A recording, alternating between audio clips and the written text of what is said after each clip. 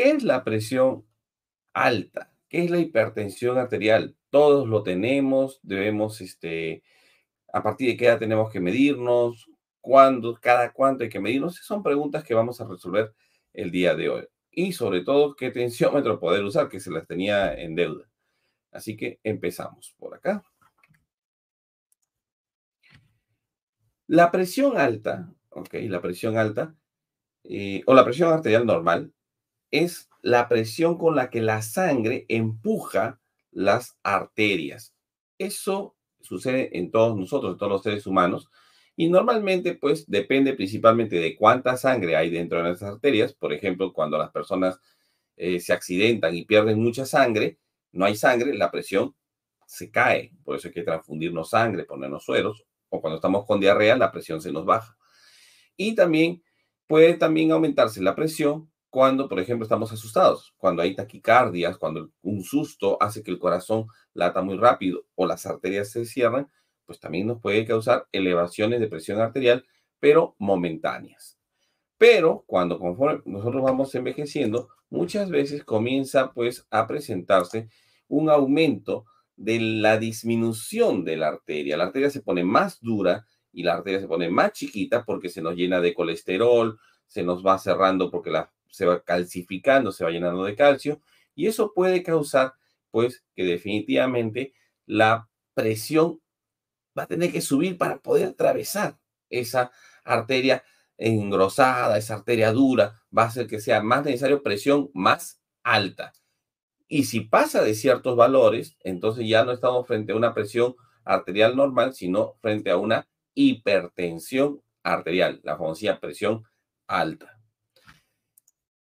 Esto en líneas generales es con los valores que se usan de acuerdo a, las últimas guías europeas y básicamente dice que si tú tienes hasta 130 de presión arterial, en la sistólica, que es la presión más grande, que eso después lo voy a explicar un poquito más detalle, mm, tranquilo, estás dentro de la presión normal, aunque lo ideal siempre es tenerlo por debajo de 120 en personas jóvenes.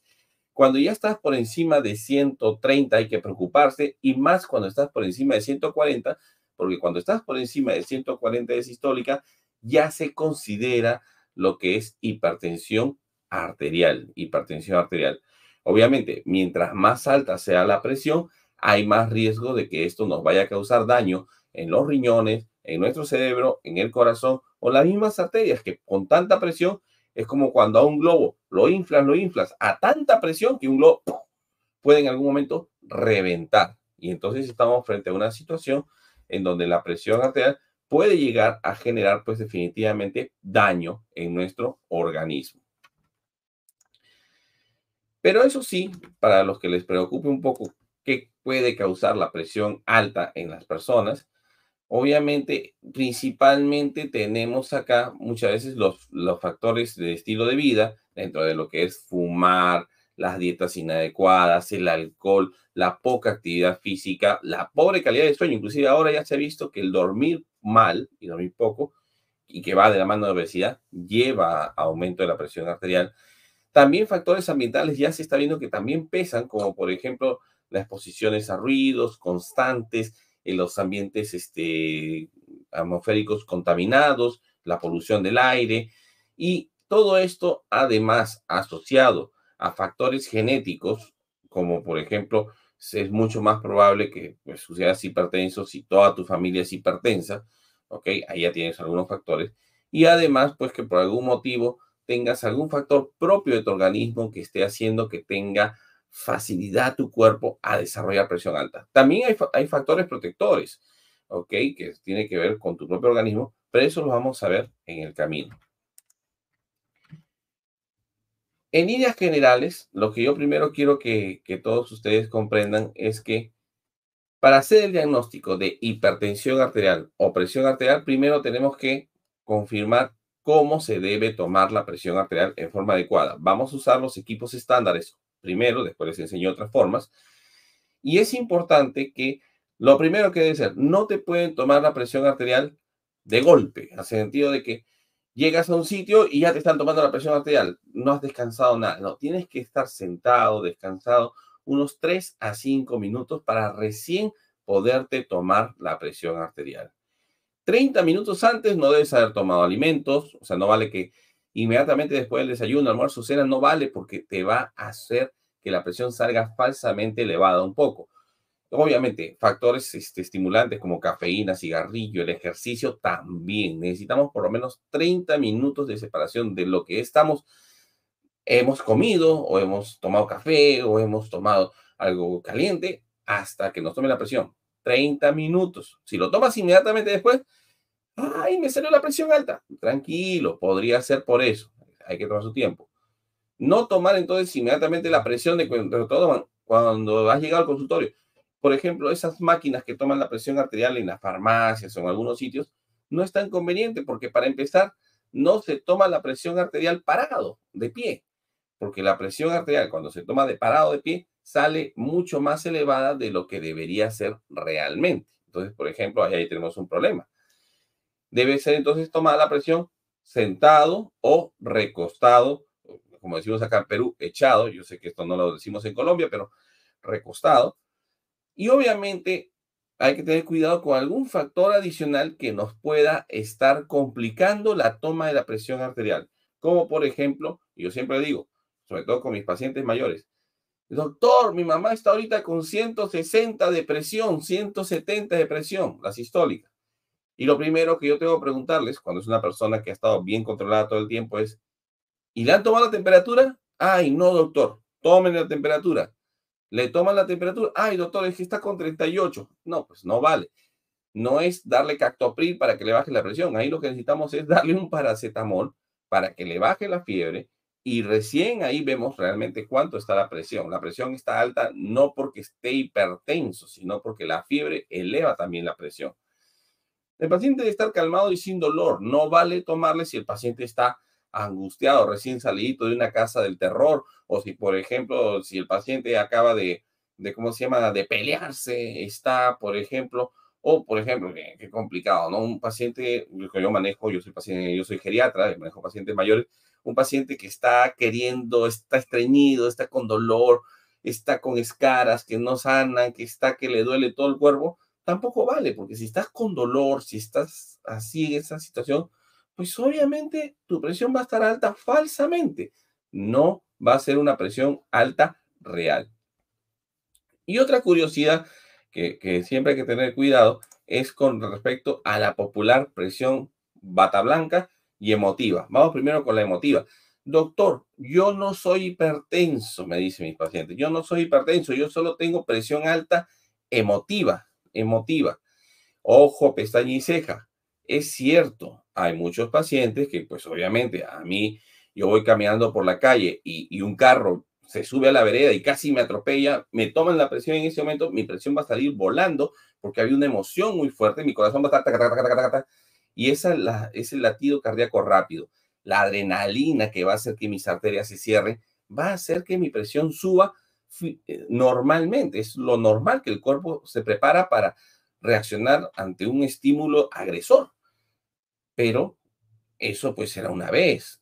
Pero si ya me están encontrando presión alta emotiva, doctor, siempre, todos los días me encuentran presión alta y es emotiva. Ojo, acá, algo anda mal, ¿no? O sea, tú te puedes emocionar una vez, pues a la semana, qué sé yo, pero que si ya las emociones te están generando presión alta todo el tiempo, lo más probable es que si seas hipertenso, no, no le eches las culpas a las emociones. Y la otra cosa que tiene que ver con, con esto en parte es que ustedes tienen que estar eh, atentos con la hipertensión de bata blanca. Tenemos muchos pacientes que nos dicen, doctor, yo me controlo la presión en casa y mi presión está siempre bien, ¿ya? Mi presión siempre está bien. Pero, este, acá cuando llego a su consultorio, se me sube la presión. Entonces, estamos frente a una situación en donde definitivamente lo más probable es que si está bien medido en casa y siempre la presión está bien, estamos frente a una hipertensión de bata blanca. Quiere decir que nos ponemos nerviosos frente al doctor y se nos sube. Para eso, monitoreo de presión. Ojo, pestaña y ceja, no es esta hipertensión de bata blanca de la señora. Hay que tener cuidado. Este es otro tipo de hipertensión por otro tipo de bata blanca. Cuando uno toma la presión arterial, definitivamente es importante. Volvemos a insistir, cuando usamos los métodos clásicos, que debemos estar sentados. Debemos estar sentados, debemos estar tranquilos. Lo ideal es tomarse de tal forma que el brazo esté ligeramente extendido, apoyado sobre una mesa y que nos permita estar este, con la espalda apoyada un respaldar. Y si bien hay preferencia para tomar la presión en el brazo izquierdo, se puede tomar en cualquiera de los dos. La diferencia de presión entre un brazo y el otro no debe ser más de 10 milímetros de mercurio. O sea que es muy poca la diferencia. ¿ok? Se los digo porque hay muchos pacientes que por preferencia, porque me han operado de la mama, doctor, o porque tengo mucho dolor, no le tomo en ese brazo, pueden tomar en cualquiera de los dos brazos, no hay problema, aunque por estándar se prefiere siempre el lado izquierdo. ¿Ok? ¿Y qué tenemos para medirlo? Bueno, para medir la presión arterial tenemos desde lo más clásico, por ejemplo, estos de acá, que son los populares tensiómetros manuales o, este, o aneroides o analógicos, como quieran llamarlo. Eh, a ver, entonces, vamos a poner esto acá. Como por ejemplo estos de acá, ¿no? Que son los clásicos que usan la mayoría de médicos, que tienen su manguito, que se inflan y que necesita un, un para poder escuchar el momento que suena el primer ruido de Korkov, que es el pulso, para poder medir la presión arterial. No se complique. Pero es importante que si van a usar este sistema, tienen que ustedes este, saber que también importa lo que es el, la calibración del aparatito. En otras palabras, del manómetro. Si ustedes ven acá, por ejemplo, vamos a tratar de hacer un enfoque decente, la aguja, cuando está el CAF, el manguito eh, vacío, tiene que estar siempre marcando en cero. Y ese es importante, porque si ustedes tienen un tensiómetro, acá este acá, tengo otro que ya se me descalibró. Vamos a intentar ahí. Si se percata, por ejemplo, la aguja ya no está marcando en cero. Qué difícil es enfocar eso acá. Ya no está marcando en cero. Este tensiómetro está descalibrado y hay que mandarlo a calibrar, porque quiere decir que el resultado que me pueda dar este de acá ya no es tan fiable o tan exacto como uno quisiera. Si ustedes no les han enseñado cómo medir este, la presión con un tensiómetro analógico, aneroide, como es acá, que es compresión auscultatoria, no se compliquen. Ahora existen también los tensiómetros que son digitales. Y vamos a empezar pues con los tensiómetros, por ejemplo, de brazo, ¿no? Que son los lo, más comunes, los que más fácilmente se colocan. Y siempre recordar, por favor, que al igual que estos de acá, que son los tensiómetros este, auscultatorios, analógicos, aneroides, tiene que tenerse en cuenta el tamaño del brazalete, del CAF, del manguito del mm, paciente al que se le va a colocar o del brazo que se va a colocar. Porque existen tipos de manguito o brazalete dependiendo del brazo del paciente, dependiendo del brazo del paciente. Si ustedes se percatan acá, por ejemplo, este de acá dice adulto, como por ejemplo el mío, el de acá. Este, por ejemplo, es para adultos. ¿Ok? Este es para adultos, pero también venden para niños, también venden inclusive para personas más grandes e inclusive para piernas. Y todos estos de acá hay que saber seleccionarlos porque, por ejemplo, cuando yo quiero colocarle este brazalete que es para adulto normal a una persona que tiene los brazos muy gorditos, que es obesa, no hay forma, va a salir hipertensión arterial, porque el pobre brazalete está ahí que se esfuerza, está que sobrevive para no despegarse más, le ponemos la mano encima para que no se para que no se reviente, para que no se separe cuando le tomamos la presión y va a salir falsamente hipertenso el paciente porque tiene el brazo muy grande para el tamaño del CAF, para el tamaño del brazalete. Por eso es importante conseguir el brazalete de acuerdo al ancho de tu brazo.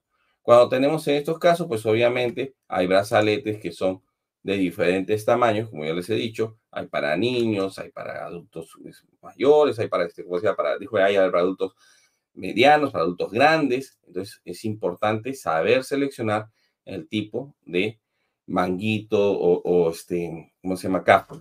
Pero en estos casos, si por ejemplo, doctor, en mi país no lo tengo, no tengo forma de tener eso ahí, solo en estas circunstancias se puede usar como alternativa los tensiómetros, por ejemplo, de muñeca. Los tensiómetros de muñeca o wrist que también se pueden utilizar en estas circunstancias. ¿Por qué no los pongo de primera opción? ¿Por qué no los pongo de primera opción?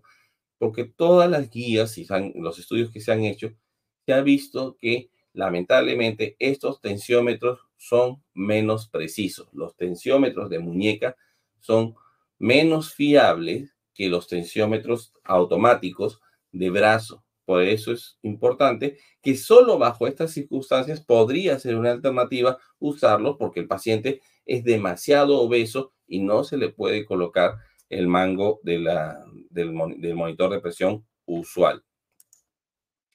Y ahora que están saliendo, lo último, cada vez están saliendo más los relojes inteligentes y que están, es que están ah, pues, y que pueden este, medir la presión arterial.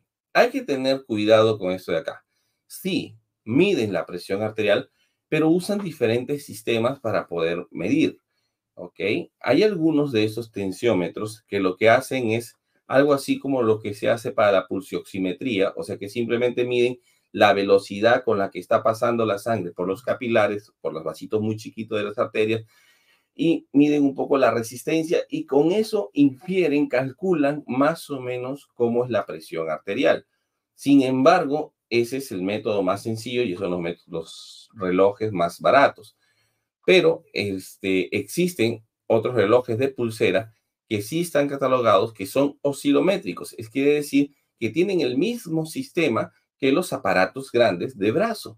En esos casos, esos sensores sí van a ser mucho más fiables. Tienen una gran ventaja contra cualquier otro tensiómetro, que es la medición continua, que me permite medir fácilmente con frecuencia a la persona e inclusive cuando está distraída, como para quitarme de encima esa famosísima duda de que si seré hipertenso porque tengo hipertensión emotiva o porque sé yo, porque con esto puedo medir todo el día o toda la noche y puedo realmente monitorizar muy bien la presión arterial, pero hay que tener cuidado con los monitores de presión arterial de relojes de pulsera que tienen que ser de preferencia por el momento oscilométricos. Los otros sistemas que existen por capilaridad, por velocidad de flujo, todavía están en estudio, todavía no están lo suficientemente validados para poder decirles úsenlos porque todavía no se han aceptado para diagnóstico de hipertensión arterial. O sea, hay que tener mucho cuidado con ese detalle.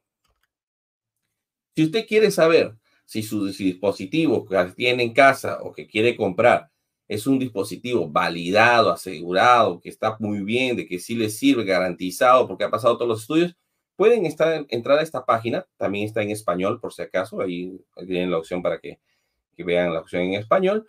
Y es un, ahí pueden poner su modelo, el que les interesa, ya sea de, brazo, ya sea de muñeca, ya sea reloj este, para medir presión arterial. Y ahí pueden ustedes corroborar si su modelo está validado por la Sociedad Europea de, este, para medir la presión arterial adecuadamente. Eso es una, como, una garantía para ayudar. Entonces, esto pueden seguirlo. Ahí les dejo la, el enlace, la dirección de, esta página, que es, este, ¿cómo se llama? Una página europea, pero que les puede ayudar bastante para definir si comprar o no un aparato en particular. Este tratamiento, algo rápido, algo rapidito. Lo primero que yo he estado revisando por ahí, siempre es bueno revisar un poco los, los otros videos de YouTube que hay, y, y, veo que la gran mayoría de personas cuando miran videos de presión arterial es los 80, bueno, los 10 alimentos que te van a hacer bajar la presión arterial. Ok, o si por ejemplo, eh, con estos cinco métodos bajas tu presión arterial sin medicinas. O qué sé yo. Entonces, la pregunta es, ¿se puede bajar la presión arterial sin medicamentos? La respuesta es sí, pero es difícil. ¿Por qué? No, no digo que no sea verdad. Porque para poder yo este, bajar la presión arterial sin medicamentos, tengo que quitar los factores que justamente están favoreciendo a que se me suba la presión. Y entonces, número uno, bajar de peso y disminuir el perímetro abdominal. Si uno baja de peso, si uno baja los centímetros de la cintura, la presión arterial se va a regularizar y es una maravilla. Pero, ojo, pestaña y ceja, no es fácil, ¿no es cierto? Hacer ejercicio ayuda un montón. Llevar una dieta saludable. Reducir un poco la sal, que es el sodio, en la alimentación. Pero ojo, reducir la sal en exceso, porque tampoco vamos a comer sin sal. Eso quiere decir que, por ejemplo, lo que tienes que hacer es quitar el salero de tu mesa. O sea, lo que no puedes hacer es, fuera de tu comida, agregarle más salsita. Ahí estamos en problema. Pero ojo, la gran mayoría de pacientes hipertensos con o sin sal van a ser hipertensos. Entonces hay que tener cuidado. Solo quitando la sal no basta, no basta. Limitar el consumo de alcohol, dejar de fumar, descansar bien durante la noche y que tiene que ver con el peso, porque lamentablemente ahí es un círculo vicioso. Tú subes de peso, duermes peor. Duermes peor y este, subes de peso y tu presión sube. Y si subes tu presión y duermes mal, subes de peso y todo es un círculo y no hay cuándo salir de eso. Por eso es importante que la primera opción es bajar de peso para que puedas inclusive descansar bien, reducir el estrés sería lo ideal y obviamente controlarse la presión para que eh, junto con tu monitoreo y tus chequeos médicos para ver que realmente si has cumplido todas esas medidas que necesitas, las que necesites, ver que realmente te esté resultando, que estés bajando tu presión arterial. Si tú no lo has conseguido, si tú no puedes conseguir, doctor, por más que lo intento, yo como un grano de arroz y engordo 10 kilos, doctor, lo he probado todo y, y no puedo hacer ejercicio porque tengo artrosis de las dos rodillas, yo no puedo correr, qué sé yo. Entonces no hay forma, no hay forma. Obviamente tienes que seguir intentando hacer la dieta, tienes que seguir llevando una vida saludable, dejar de fumar, pero probablemente vas a necesitar también medicamentos, medicamentos. Y cuando hablamos de medicamentos para la presión alta, tenemos varios, muchos, muchos medicamentos dentro de los grupos de inhibidores de enzima de la eh, de angiotensina.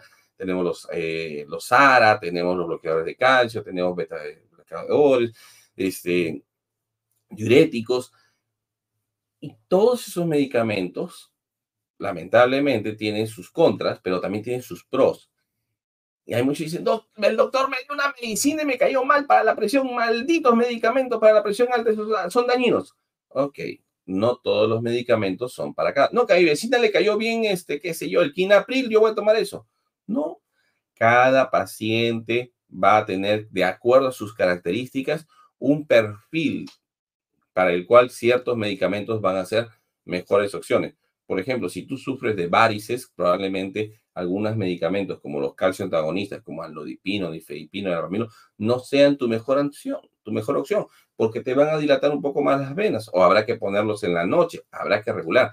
Son cosas así importantes. O hay pacientes que, pues lamentablemente, toman un enalapril y comienzan a toser como locos, tose y tose y tose y tose, y pues obviamente les cae mal y hay que buscar otra alternativa para darles, para controlar bien su presión, porque sigo insistiendo, la presión alta puede hacernos daño, sobre todo cuando está elevada en el tiempo y conforme va avanzando, pasan años y todo demás, nos puede hacer cada vez más daño. Entonces, ¿se puede bajar la presión sin medicamentos? Sí, es difícil, pero no imposible. Si se ponen en regla, si lo hacen poco a poco, imperfecto, al inicio podrían necesitar de todos modos tomar medicación, porque hasta que bajen de peso, hasta que hagan ejercicio y todo demás, necesitan controlar con medicación y una vez que ya bajen de peso, bajen la cintura, dejen de fumar, tengan una vida más tranquila, que hayan hecho este ejercicio y hayan logrado todo eso, se puede ir reduciendo los medicamentos o hasta quitando, pero obviamente con un chequeo que hay que estar revisando que eso pase. Así que espero que les haya gustado esta charla y nos vamos con la sección preguntas y respuestas que tengan por ahí, así que vamos a responder las que tenemos. Sonia Contreras nos dice, doctor, ¿se puede tener presión alta por emociones y por ira? Gracias, buenas noches. Sonita, sí. Cualquier cosa que te genere emociones fuertes, como les digo, que, me quieran asaltar en la esquina de mi casa, que se me haya, Dios no lo quiera, fallecido un familiar o se ha puesto mal un familiar, o pues obviamente, qué sé yo, este, me he peleado con, vamos a pelearnos con el jefe, me he peleado con el jefe, pues obviamente mi presión va a dispararse, pero es solo momentáneo y hasta valores pues ligeramente elevados, no es que vas a estar en 200 de presión, se va a elevar. Por eso es que para monitorizar la presión se dice que debe uno estar calmado, esperar 3 a 5 minutos, y eso es lo correcto. Pero eso no significa, ok, que yo acepte como es normal que tengas una presión de 200 y que sea por la emoción. Ojo, hay algo anda mal. Tengo que volver a chequear los 5 minutos, volver a revisar los 5 minutos o dejarte un monitoreo constante. Si alguna vez se te sube la presión por una emoción fuerte, tienes que estar en sospecha. Es como una tarjeta amarilla. Podría ser que, sea así, que haya sido simplemente por la emoción, pero podría ser que realmente tu cuerpo te esté avisando de que ya no está normal tus arterias, de que ya se está viniendo un problema y tienes que monitorizar tu presión constantemente. Eso hay que chequear y revisar. Eso es importante. Entonces, ¿se puede tener presión alta en emociones? Sí, pero yo que tú sospecharía y hay que estar haciendo monitoreo. Eso es importante. Dice Alejandro, buenas noches, un gusto. Yamile, un gusto. Flor buenas noches, un gustito con todos ustedes. Recuerden ustedes que, por favor, que cada paciente es diferente. Entonces, hay que tener cuidado con este detalle. Acá Luz Elena nos dice, Luz Elena dice, mi madre tiene 184 de presión todos los días, pero cuando le pongo el cactopril le baja. ¿Qué debo hacer, doctor? Mm. Mi estimada Luz Elena, el cactopril es una medicina que usamos mucho los médicos para bajar rápidamente la presión arterial y es un medicamento bien noble, bastante, bastante bueno, pero tiene unos pequeños problemitas. Número uno, dura 6 a 8 horas en el cuerpo. Eso quiere decir que te va a bajar la presión por 6 a 8 horas y de ahí quedas sin protección. Entonces es importante que si ya te están encontrando presión arterial alta constantemente, hipertensión arterial, hay que pensar que quizás necesites un medicamento de más larga acción, sobre todo si ya eh, te están encontrando presión alta todos los días. Entonces, ¿El captopril te va a bajar la presión? Excelente, me parece muy bien. Que sea el tratamiento de base permanente, no. Captopril ya no, antes se usaba, muchos años antes. Ahora ya no se usa como medicamento de primera línea para tratar los cuadros de presión porque dura muy poco. Y en ese poco se vuelve a subir la presión y esos picos de presión nos pueden romper una arteria, una vena, donde más nos preocupa y nos puede causar después mucho daño y sufrimiento. Entonces, Cactopril para emergencias lo usamos mucho los médicos, mucho los, centros de salud y todo lo demás, pero no es el mejor medicamento para controlar permanentemente la presión. Hay que usar otros. Socorro que nos dice, buenas noches. Cuando una persona adulta mayor inicia con presión alta, ¿es necesaria la medicación o solo con dieta? Ok, pregunta con trampa. Mi estimada Socorro, ¿te acuerdas lo que había mencionado que la presión alta mayormente es a partir de 140? Y Conforme vamos envejeciendo, nuestras arterias se van cerrando y eso va a hacer que nuestra presión tienda a estar más elevada. Obviamente eso va a ser más en las personas que, va a ser mucho mayor en las personas que fuman o en las personas que tienen colesterol altísimo, por ejemplo. Y esto tiende a ser así hasta los 80 años en que se alcanza el pico máximo y de ahí comienza a estabilizarse y a los 90 comienza a regularizarse un poco más la presión, inclusive para abajo. Si una persona adulta mayor y sobre todo este, estamos hablando de personas menores de 80 años, tiene que iniciar medicación. No hay forma, tiene que iniciar medicación, como digo, seleccionado. Entre los 80 y los 90 hay que asegurarnos bien qué tan alta es su presión arterial. Y más de 90 hay que ser muy, muy cuidadoso, porque si ya tiene más de 90 o inclusive en los centenarios, nosotros somos más permisivos, permitimos un poco más de presión. Tenemos pacientes centenarios en donde aceptamos inclusive presiones arteriales de 140, 150 de sistólica con comodidad, porque esa es su presión que necesitan para poder romper o para poder avanzar la sangre a través de unas carótidas calcificadas, porque la bajamos a 100 y la presión de la paciente mm, se duerme, se apaga, porque ya no tiene presión arterial para llegar arriba la sangre. Pero si una persona adulta mayor inicia con presión alta, o cualquier persona si inicia con presión alta, necesita medicación hasta que el ejercicio, la dieta, eh, la actividad física saludable, corregir el colesterol, el azúcar, corrige todos los otros factores. Si corrige todos los factores, la señora ya baja, ya tiene mejor cintura, la presión comienza a bajar, la podemos ir quitando la medicación poco a poco. Pero la medicación es necesaria de inicio y quizás si quieres retirarlo, vas a tener que conseguir lo otro. Eso de que, doctor, le voy a dar dieta y a partir de mañana baja la presión. No, la dieta no actúa tan rápido. Así le quites toda la sal del mundo. No, medicación primero y haces todo lo demás para intentar quizás reducir o quitar, Dios quiera, la medicación. No tengo problema. Aníbal nos pregunta, doctor, buenas noches, ¿cómo saber si soy hipertenso? ¿Qué exámenes me tendría que hacer? Pues para empezar, número uno, monitorizar tu presión arterial. Cuando uno monitoriza la presión arterial, lo puede hacer, como les digo, en el consultorio médico, en centro de salud, hay muchos sitios donde toman la presión arterial, o lo puedes hacer con un equipo propio, en donde pues te van a medir la presión arterial. Sin embargo, hay algunos pacientes en donde es más difícil monitorizar la presión arterial porque tienen el bata blanca, en donde ven al médico, del puro susto se les sube la presión arterial. En esos pacientes muchas veces terminamos haciéndoles algo que se llama un monitoreo ambulatorio de presión arterial, el MAPA, donde les ponemos un equipo durante 24 horas, un brazalete durante 24 horas, y vemos durante 24 horas cómo va su presión. Y ahí podemos certificar si realmente este paciente es hipertenso. Es más, a qué horas tiene más hipertensión, porque hay gente que tiene más presión alta en las mañanas y hay gente que tiene tendencia a tener presión alta cuando duerme, durante las noches. Entonces, para eso nos sirve. Entonces, para saber si soy hipertenso, más que la presión arterial, la toma de presión arterial. Pero si me descubren que con la presión arterial yo soy hipertenso, es muy probable que además tenga que hacerme unos análisis, porque cuando tú eres hipertenso, hay que ver que otras cosas puedan estar dañando tu cerebro, tu corazón, las arterias, colesterol, glucosa, tiroides. Hay que hacer un, chequeo muy completo para asegurarnos de quitar todos los factores que puedan hacer daño a tu cuerpo. Entonces, exámenes de sangre no te permiten hacer diagnóstico de hipertensión arterial, no se necesita. Es solo el monitoreo de presión, que puede ser unas tomas ambulatorias o puede ser el monitoreo de 24 horas, el mapa. Pero los puede ser que un recién diagnosticado hipertenso necesita análisis para ver que, cómo está el riñón o estas cosas. ¿ya? Entonces sí, podrías necesitar análisis, pero no para el diagnóstico de hipertensión, sino porque el hecho que te diagnostiquen hipertensión con el monitoreo te obliga a saber cómo está el resto de tu cuerpo. Sonia Contreras dice, ¿y si tomo el prastolán para tranquilizarme y de ya pongo los sartán de 50? Mi sonita. Estimada Sonia, este, supongo que te estás refiriendo por la popular presión emotiva o presión de bata blanca. Sigo insistiendo.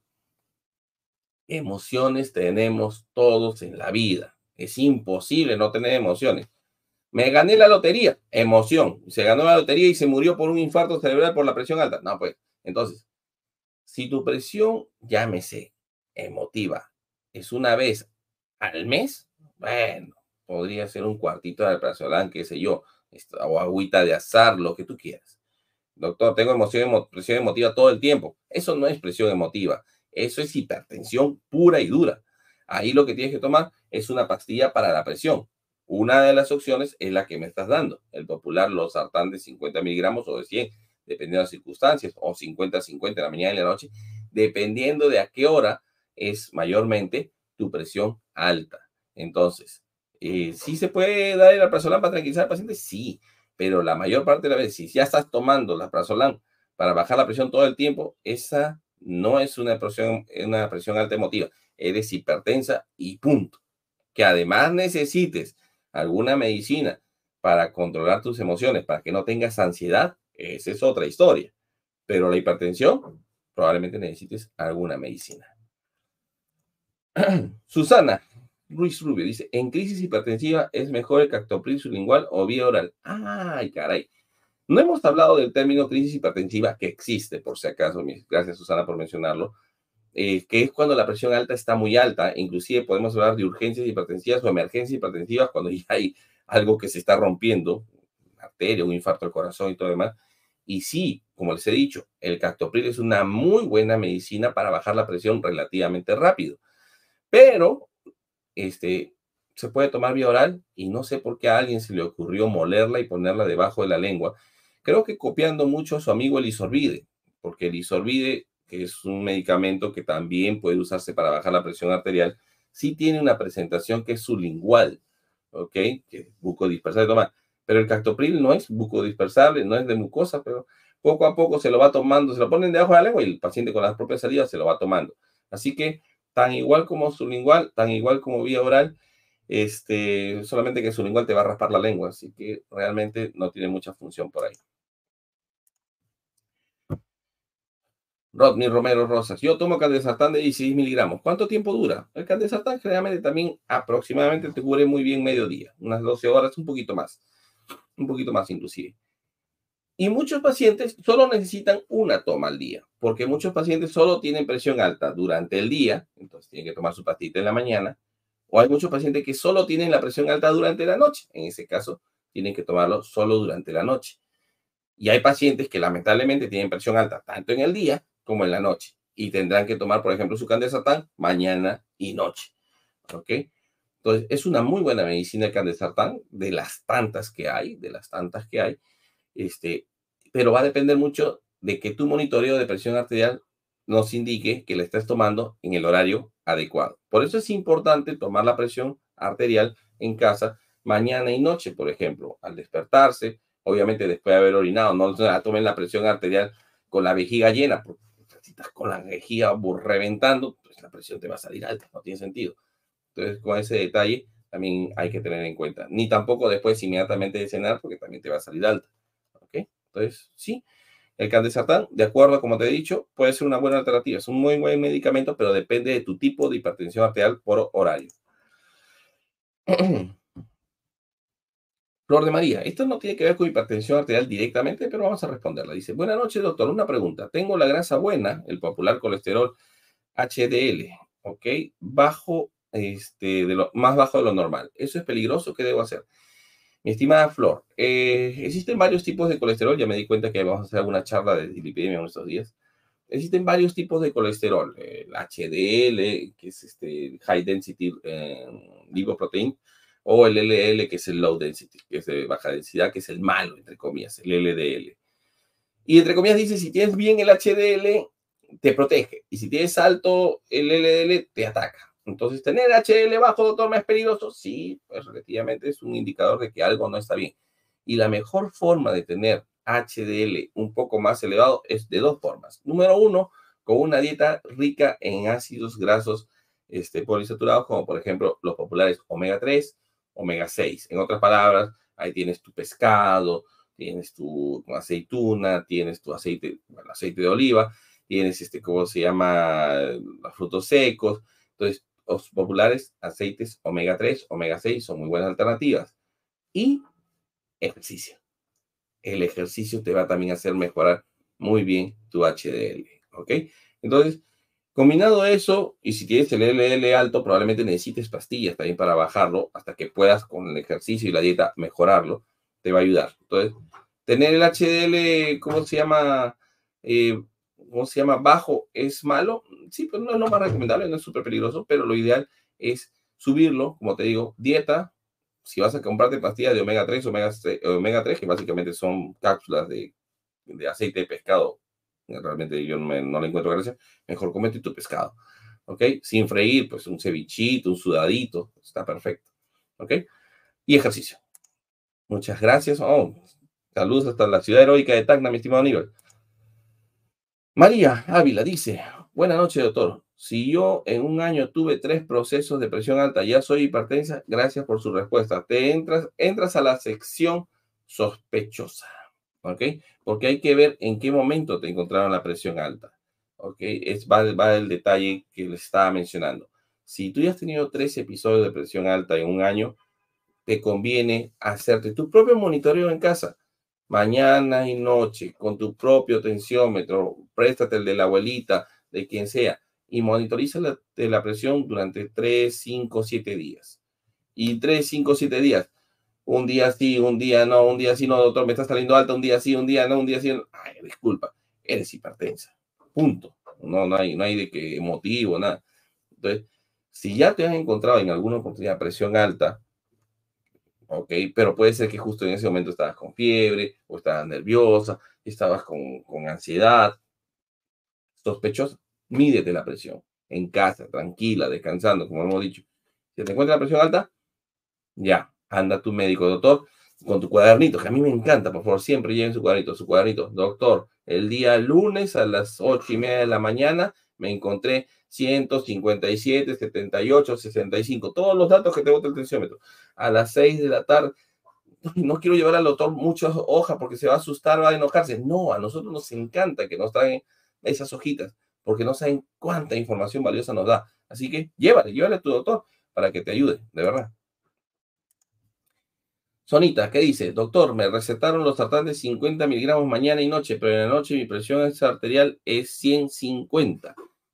Pues entonces ahí hay que tener un cuidado, porque puede ser de que ya no lo requieras. Y por eso es importante lo mismo, tu libretita, tu cuadernito, anotar, doctor, porque tampoco es bueno tener la presión muy baja. Tampoco es bueno, o sea, no es bueno tener la presión muy alta y tampoco es bueno tener la presión muy baja, sobre todo en personas mayores, porque nos da riesgo de caída, no llega suficiente sangre al cerebro. Es importantísimo entonces también regular eso. Si puede ser que al inicio la hayas necesitado mañana y noche, puede ser porque es una dosis lógica, no, no, no te han dado una sobredosis, es una dosis que podemos usar en los pacientes. Pero puede ser que tu cuerpo haya cambiado y ya requieras otro tipo de dosificación. Para eso anotar y llévalo a tu médico para que te lo ajuste. Ah, señora, ya no necesita tanto, ya necesita menos. Y hay que ver también tus otras características, porque también esto podría variar. Doctor, yo tengo cinco stents, cuatro bypass, dos, dos, este, dos stents de carótida. Ah, ok, contigo hay que tener un poquito más cuidado y hay que tener la presión mucho más bajo del usual. Ok, caso particular. Pero tu médico te va a poder ayudar a orientarte en esa parte. Pero monitoreo, monitoreo, escríbanlo, escríbanlo, escríbanlo y llévenselo a su médico y les va a ayudar bastante a definir si estamos bien o estamos mal. No es tan normal ese 10-50. Carlitos, ¿qué dice Carlitos Checne? Dice, doctor, buenas noches. Una consulta. Me recetaron tomar Ibersartán de 150 miligramos en la mañana y en la noche, pero tuve una crisis hipertensiva y el doctor me recetó tomar anodipino de 5 miligramos en la noche y luego me dijeron tomar por las mañanas. ¿Estará bien ese cambio? un, como dice, es como el pan y la mantequilla. Se llevan muy bien Ibersartán y el anodipino. Son muy, muy buenos amigos, muy buenos compañeros. Usualmente el anodipino se tiende a dejar en la noche por el detalle de que eh, tiende a hinchar un poquito las piernas porque hincha las venas. Entonces, como en la noche vamos a estar durmiendo patitas para arriba, pues no se hinchan tanto y lo toleramos mejor. No sucede en todos los pacientes, solo en algunos, por si acaso. No vayan a satanizarlo al pobre anodipino, que es un medicamento buenazo. Pero, obviamente, si ya estás con Iversartán de 150 en la mañana y 150 en la noche, que es la dosis plena de Iversartán, y así has hecho hipertensión arterial, quiere decir que necesitas más medicina. Pero también ahí entra la pregunta. ¿No será que algo está fallando en tu cuerpo? ¿No será que estás con sobrepeso? ¿No será de que estás fumando? ¿No será que estás con el colesterol volando?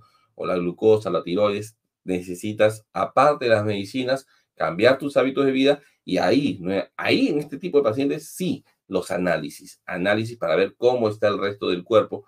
No vaya a ser que algo esté fallando de repente tu creatinina está subiendo y hay que hacerte una ecografía abdominal para ver cómo están los riñones, porque a veces cuando los riñones tienen una placa, algo que esté bloqueando la entrada de sangre al riñón a través de la arteria renal, eso también puede causar que la presión tercamente se mantenga elevada y no baje aún a pesar de las medicinas. Entonces, ya el hecho de que estés aumentando tus requerimientos de, de antihipertensivos es revisa, consulta bien con tu médico, análisis, ecografía. Hay que ver qué es lo que está fallando para que tú tengas que necesitar más pastillas. Eso es importante, ¿ya? Lucelena dice, mi madre toma Ibersartán, bueno, dos Ibersartanes, uno en la mañana, otro en la noche, y a pesar de eso hace presión alta de 180. Me recomiendan que le dé acertralina. Debo dar, tiene 90 años me agarraste. No sé si te refieres a la sertralina. La sertralina es un antidepresivo o otro tipo de medicamentos. Ahí sí me agarraste. No, no sé. Si te refieres a la sertralina, no es para la presión, es para la depresión, que es un trastorno mental, que eso es otra historia. Pero obviamente 180 de presión, por más que tenga 90 años, ya es un poco alto. Entonces, sí le conviene regular la presión con algún otro tipo de medicación. Hay varios tipos de medicación que se pueden dar y dependiendo de la hora y qué otras medicinas está tomando tu mamá, porque realmente a los 90 años uno toma también otras medicinas, ver cuál es la que más le conviene, ¿no? Igualito que la otra persona, ver que no hay algún factor que esté haciendo de que se le suba la presión. Por ejemplo, yo en pacientes de 90 años que se le sube la presión, lo primero que tengo que preguntar, ¿está tomando medicinas para el dolor? Porque los antiinflamatorios nuestros videos, ibuprofeno, naproxeno, meloxicam, los corticoides como dexametasona, prednisona, suben la presión, suben la presión. Entonces, muchas veces lo que tengo que hacer es disminuir esas medicinas o cambiar por alguna que no me suba la presión antes de que aumentar algún antihipertensivo. Por eso digo, cada vez que hay algún cambio de presión relativamente súbito, rápido y que no le encontramos causa, piensen que de nuevo ha entrado, algo, algo ha entrado nuevo, una medicina natural, algún suplemento vitamínico, revisar que algo no vaya a ser, nos esté haciendo que nuestra presión se eleve artificialmente o falsamente y peligrosamente, ¿ok? Pero no sea porque tu cuerpo tenga hipertensión, sino porque algo que le estamos dando nos está traicionando y nos está elevando la presión. Socorro, dice. Socorro, ¿qué dice? Cuando una persona presenta presión alta con agrandamiento, imagino, de cara y brazo izquierdo, ¿qué tratamiento se debe aplicar en ese momento? Ah, no, con adormecimiento, disculpa. Si una persona presenta hipertensión con adormecimiento de cara y brazo izquierdo, ¿qué medida hay que tomar en ese momento? Ok. Cada vez que mencionan eso, inmediatamente a nosotros se nos ponen los pelos de punta, porque siempre existe la idea de que un órgano que se puede dañar por la hipertensión muy alta es el corazón. Y una forma que se pueda dañar el corazón por hipertensión es que haga un infarto cardíaco.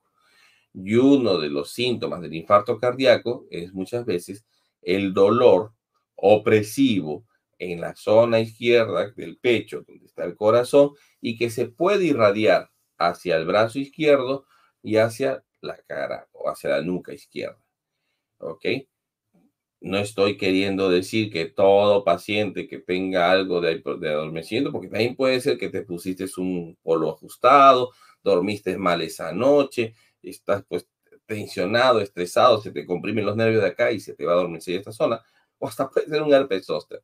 No estoy diciendo que sea eso, pero si tienes hipertensión, tienes factores de riesgo, en el sentido de que eres diabético o tienes más de 40 años, has sido fumador, tienes colesterol alto o tienes antecedentes de, de hipertensión mal controlada y tienes esas molestias, molesta mejor al personal de salud con confianza nosotros preferimos mil veces decirte que llegues al hospital y decirte, ¿sabe qué? Usted ha venido por la pura, lo que usted tiene es estrés, ya le tomamos electrocardiograma, le hemos tomado su presión está normal. Usted lo que tiene es estrés y ha venido a sobrecargarnos la vida.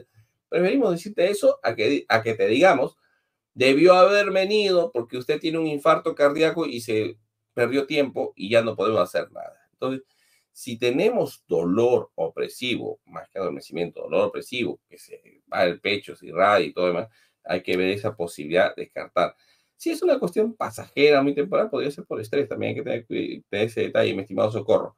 ¿Ya? Pero si tienes dudas, es muy fuerte, muy llamativo, nunca lo has tenido y eres una persona con factores de riesgo, como te digo, mejor una miradita que el hospital. De nada, mi estimada Sonia. Yo pecador. ya la voz. Jesús dice, a ver Jesucito, ¿qué dice? Jesús Esperanza. Doctor, tengo un solo riñón funcionando. Puede ser por eso que tengo siempre la presión alta. Del corazón estoy bien. Me saqué un electro y el cardiólogo me dijo que estoy bien del corazón. Perfecto. Mi estimada Jesús, este, para empezar, 10% de la población a nivel mundial tiene un solo riñón funcionando y son felices de la vida. Y recién cuando mueren a los 140 años y le hacemos la autopsia, nos damos cuenta que le faltaba uno. Cuestión de gustos. Pero el detalle está que este, si tú antes tenías dos riñones funcionando y ahora solo tienes uno, Ahí sí hay que poner todas las alarmas. ¿Qué ha pasado? ¿Qué es lo que está haciendo de que ese riñón haya dejado de funcionar? Puede haber sido una piedra, puede haber sido un tumor, puede haber sido qué cosa hizo que ese riñón no funcionara. Entonces, si tienes un solo riñón, ¿ok? Y está funcionando bien, no está estenosado y todo demás, ese no es culpable de tu presión alta. sigo insistiendo, hay personas que tienen un solo riñón toda la vida y son felices. Pero si tenías dos riñones y uno de ellos dejó de funcionar, hay que ver que no sea por algo que sí favorezca la presión alta. Ahí cambia la figura. Entonces, que tu corazón esté bien, felicitaciones, eso es bueno, pero igualito, si tienes un solo riñón de nacimiento congénito, sé feliz, tranquila. Por eso no es la presión alta, pero ya que tienes un solo riñón, hay que cuidarlo como oro. Tu presión bien controladita, eso es importante, ¿ya? Entonces es importante. Pero si tenías dos al inicio y ahora solo tienes uno, porque otro se atrofió por algún motivo en el camino, ah, hay que buscar qué pasó con ese riñón. Algo, algo está fallando, porque lo mismo que le ha pasado a ese puede pasarle al único que queda, y eso sí es peligroso. Jesús Enrique Carrillo dice, ¿en qué medida se considera presión alta? ya está. Este, mi estimado Jesús, en líneas generales, si bien para tener presión alta se puede considerar tanto la presión grande, la sistólica, y la presión chica o diastólica, yo estoy hablando básicamente con las presiones grandes, las sistólicas, porque es más fácil de explicar y es la más común que mayormente nos afecta eh, a los pacientes o que vemos en la, en la consulta médica. Cuando tu presión arterial sistólica está por encima de 140, ya se puede hablar de hipertensión arterial. Sin embargo, que esté sobre 130, ya tienes que ir poniendo alarma. 130 es como de, si estás entre 130 y 140 es como la tarjeta amarilla. Cuidado, algo anda mal. A bajar de peso, a controlar la diabetes, a hacer ejercicio, ya te tienes que tener cuidado. Más de 140, ya eres hipertenso. ¿ya? Más de 140 sistólica, ya eres hipertenso. Ok, gracias. Muy bien, estimados amigos, entonces espero que les haya gustado, espero que de verdad, si es de su agrado, compártanlo por favor.